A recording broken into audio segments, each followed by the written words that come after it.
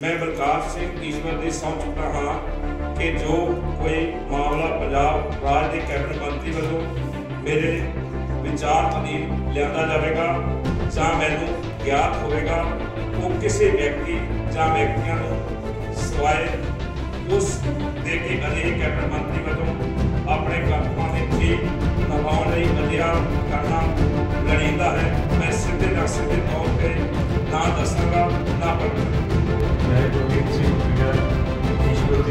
ਦੀ ਸਹੁੰ ਮੈਂ ਉਹਦੇ ਦੁਆਰਾ ਸਥਾਪਿਤ ਭਾਰਤ ਦੇ ਸੰਵਿਧਾਨ ਦੇ ਪ੍ਰਤੀ ਸੱਚੀ ਸ਼ਰਧਾ ਅਤੇ ਨਿਸ਼ਠਾ ਰੱਖਾਂ ਕਿ ਮੈਂ ਭਾਰਤ ਦੀ ਵਰਤੋਂ ਅਤੇ ਖੰਡਤਾ ਨੂੰ ਬਰਕਰਾਰ ਰੱਖਾਂਗਾ ਕਿ ਮੈਂ ਪੰਜਾਬ ਰਾਜ ਦੇ ਕੈਬਨਿਟ ਮੰਤਰੀ ਵੱਲੋਂ ਆਪਣੇ ਕਰਤੱਵਾਂ ਨੂੰ ਵਫਾਦਾਰੀ ਅਤੇ ਸ਼ੁੱਧ ਅਤੇ ਨਾਲ ਨਿਭਾਵਾਂਗਾ ਪੰਜਾਬ ਮੰਤਰੀ ਮੰਡਲ 'ਚ ਅੱਜ ਚੌਥੀ ਵਾਰੀ ਵਿਸਤਾਰ ਹੋ ਗਿਆ। ਭਗਵੰਤ ਮਾਨ ਨੇ ਆਪਣੀ ਕੈਬਨਿਟ 'ਚ ਕਰਤਾਰਪੁਰ ਤੋਂ ਵਿਧਾਇਕ ਅਤੇ ਸਾਬਕਾ ਡੀਸੀਪੀ ਬਲਕਾਰ ਸਿੰਘ ਅਤੇ ਲੰਬੀ ਤੋਂ ਵਿਧਾਇਕ ਗੁਰਮੀਤ ਸਿੰਘ ਖੁੱਡੀਆਂ ਨੂੰ ਜਗ੍ਹਾ ਦਿੱਤੀ ਹੈ। ਦੋਵੇਂ ਨਵੇਂ ਮੰਤਰੀਆਂ ਨੂੰ ਰਾਜਪਾਲ ਬਨਵਾਰੀ ਲਾਲ ਪੁਰੋਹਿਤ ਨੇ ਰਾਜ ਭਵਨ 'ਚ ਸਹੁੰ ਚੁਕਾਈ। ਬਲਕਾਰ ਸਿੰਘ ਦੁਆਬਾ ਖੇਤਰ ਦੇ ਬ੍ਰਹਮ ਸ਼ੰਕਰ ਜਿੰਪਾ ਦੇ ਬਾਅਦ ਦੂਸਰੇ ਮੰਤਰੀ ਨੇ।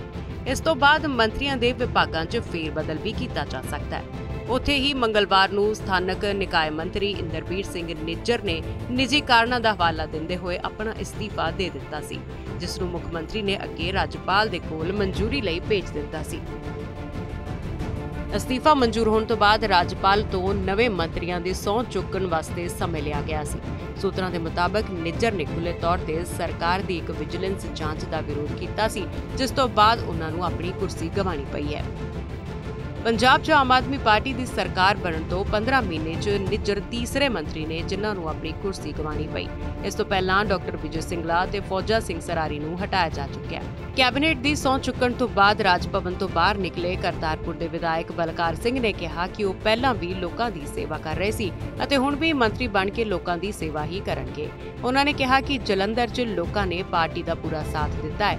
ਉਹਨਾਂ ਨੇ ਨਾਲ ਹੀ ਕਿਹਾ ਕਿ ਸੂਬੇ ਦੇ ਮੁੱਖ ਮੰਤਰੀ ਭਗਵੰਤ ਮਾਨ ਨੇ ਉਹਨਾਂ ਨੂੰ ਸੇਵਾ ਦਾ ਮੌਕਾ ਬਖਸ਼ਿਆ ਅਤੇ ਉਹ ਉਹਨਾਂ ਦੀਆਂ ਉਮੀਦਾਂ ਉੱਤੇ ਖਰੇ ਉਤਰਨਗੇ। ਇਸ ਵੇਲੇ ਉਹਨਾਂ ਦੇ ਨਾਲ ਗੁਰਮੀਤ ਸਿੰਘ ਖੁੱਡੀਆਂ ਵੀ ਮੌਜੂਦ ਸਨ। ਆਓ ਹੁਣ ਇੱਕ ਨਜ਼ਰ ਪਾਉਂਦੇ ਹਾਂ ਕਿ ਆਖਰਕਾਰ ਬਲਕਾਰ ਸਿੰਘ ਅਤੇ ਖੁੱਡੀਆਂ ਮੰਤਰੀ ਕਿਉਂ ਬਣਾਏ ਗਏ। ਕਰਤਾਰਪੁਰ ਦੇ ਵਿਧਾਇਕ ਬਲਕਾਰ ਸਿੰਘ ਨੂੰ ਜਲੰਧਰ ਲੋਕ ਸਭਾ ਜਿਮਨੀ ਚੋਣਾਂ 'ਚ ਪਾਰਟੀ ਲਈ ਚੰਗਾ ਕੰਮ ਕਰਨ ਦਾ ਇਨਾਮ ਮਿਲਿਆ ਹੈ। ਚੰਗਾ ਕੰਮ ਸਿਰਫ ਉਪ 'ਚ ਆਪਣੇ ਖੇਤਰ ਤੋਂ ਸਭ ਤੋਂ ਜ਼ਿਆਦਾ ਲੀਡ ਦਿਲਵਾਉਣਾ ਹੀ ਨਹੀਂ, ਬਲਕਿ ਅਕਾਲੀ ਦਲ ਦੇ ਨੇਤਾ ਵਿਕਰਮਜੀਤ ਮਜੀਠੀਆ ਤੋਂ ਪੰਗਾ ਲੈਣ ਦਾ ਵੀ ਉਹਨਾਂ ਨੂੰ ਰਿਵਾਰਡ ਮਿਲਿਆ ਬਲਕਾਰ ਦੇ ਖਿਲਾਫ ਮਜੀਠੀਆ ਨੇ ਮੋਰਚਾ ਖੋਲ ਰੱਖਿਆ ਸੀ, ਪਰ ਬਲਕਾਰ ਸਿੰਘ ਨੇ ਵੀ ਡਟ ਕੇ ਮੁਕਾਬਲਾ ਕੀਤਾ। ਉੱਥੇ ਹੀ ਲੰਬੀ ਦੇ ਵਿਧਾਇਕ ਗੁਰਮੀਤ ਸਿੰਘ ਖੁੱਡੀਆਂ ਨੂੰ ਸ਼੍ਰੋਮਣੀ ਅਕਾਲੀ ਦਲ ਦੇ ਕਿਲੇ ਨੂੰ ਭੇਦਣ ਅਤੇ ਪੰਜ ਵਾਰ ਦੇ ਮੁੱਖ ਮੰਤਰੀ ਪ੍ਰਕਾਸ਼ ਸਿੰਘ ਬਾਦਲ ਨੂੰ ਹਰਾਉਣ ਦੇ ਕਾਰਨ ਮੰਤਰੀ ਪਦ ਦਿੱਤਾ ਗਿਆ। ਖੁੱਡੀਆਂ ਨੇ ਲੰਬੀ ਸੀਟ ਤੇ ਨਾਮੁਮਕਿਨ ਨੂੰ ਵੀ ਮੁਮਕਿਨ ਕਰਦੇ ਹੋਏ ਸ਼੍ਰੋਮਣੀ ਅਕਾਲੀ ਦਲ ਦੇ ਸਰਪ੍ਰਸਤ ਅਤੇ ਸਾਬਕਾ ਮੁੱਖ ਮੰਤਰੀ ਬਾਦਲ ਨੂੰ ਉਹਨਾਂ ਦੇ ਹੀ ਗੜ 'ਚ ਮਾਤ ਦੇ ਕੇ ਇਤਿਹਾਸ ਰਚਿਆ ਸੀ।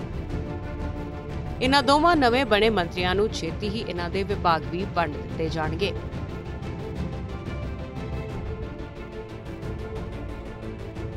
ਉਹਨਾਂ ਨੇ ਜੋ ਸਾਨੂੰ ਜ਼ਿੰਮੇਵਾਰੀ ਦਿੱਤੀ ਹੈ ਸ਼੍ਰੀ ਅਰਵਿੰਦ ਕੇਜਰੀਵਾਲ ਜੀ ਨੇ ਔਰ ਸਾਹਿਬ ਭਗਵੰਤ ਸਿੰਘ ਮੁੱਖ ਮੰਤਰੀ ਸੀਐਮ ਪੰਜਾਬ ਜੀ ਨੇ ਔਰ ਅਸੀਂ ਬੜੇ ਤਨਦੇਹੀ ਨਾਲ ਔਰ ਉਹਨਾਂ ਦੇ ਟੀਮ ਦਾ ਇੱਕ ਕੈਬਨਿਟ ਦਾ ਹਿੱਸਾ ਬਣੇ ਆ ਔਰ ਬਹੁਤ ਵਧੀਆ ਤਰੀਕੇ ਨਾਲ ਇਮਾਨਦਾਰੀ ਨਾਲ ਹਾਰਡ ਵਰਕਿੰਗ ਨਾਲ ਕੰਮ ਕਰਾਂਗੇ। ਧੰਨਵਾਦ ਜੀ। ਸਰ ਕੀ ਕੀ ਟੀਚੇ ਰਹਿਣਗੇ ਤੁਹਾਡੇ ਲਈ? ਤੁਸੀਂ ਵੀ ਦੱਸੋ ਗੁੱਡੀਆਂ ਸਾਹਿਬ ਮੇਰੇ ਇਕੱਠੇ ਦੱਸ ਦਿਓ। ਸਰਦਾਰ ਭਗਵੰਤ ਸਿੰਘ ਜੀ ਮਾਨ ਮੁੱਖ ਮੰਤਰੀ ਸਾਹਿਬ ਪੰਜਾਬ ਨੇ ਆਪਣੀ ਟੀਮ ਵਿੱਚ ਸਾਨੂੰ ਸ਼ਾਮਲ ਕੀਤਾ ਹੈ। ਉਹਨਾਂ ਦਾ ਤਹਿ ਦਿਲੋਂ ਧੰਨਵਾਦ ਕਰਦੇ ਹਾਂ। ਸ੍ਰੀ ਅਰਵਿੰਦ ਕੇਜਰੀਵਾਲ ਜੀ ਹੋਰਾਂ ਦਾ। ਮੈਂ ਖਾਸ ਕਰਕੇ ਲੰਬੀ ਹਲਕੇ ਦੇ ਲੋਕਾਂ ਦਾ ਵੀ ਜਿਨ੍ਹਾਂ ਦੇ ਸਦਕਾ ਮੈਂ ਇਸ ਤੱਕ ਪਹੁੰਚ ਸਕਿਆ। ਸਾਡੇ ਤੇ ਜੋ ਜ਼ਿੰਮੇਵਾਰੀ ਪਾਈ ਗਈ ਹੈ, ਉਹਨੂੰ ਬੜੀ ਤਨਦੇਹੀ ਤਨਦੇਹੀ ਨਾਲ ਨਿਭਾਵਾਂਗੇ। ਪੂਰੀ ਇਮਾਨਦਾਰੀ ਰੱਖਣਾ ਸਾਡਾ ਫਰਜ਼ ਹੈ। ਸਰਕਾਰ ਦਾ ਫਰਜ਼ ਹੈ, ਸਾਡੀ ਪਾਰਟੀ ਦਾ ਫਰਜ਼ ਹੈ। ਉਸ ਫਰਜ਼ ਨੂੰ ਉਸ ਸੱਚ ਨੂੰ ਹੋਰ ਸੱਚ ਕਰਕੇ ਦਿਖਾਵਾਂਗੇ।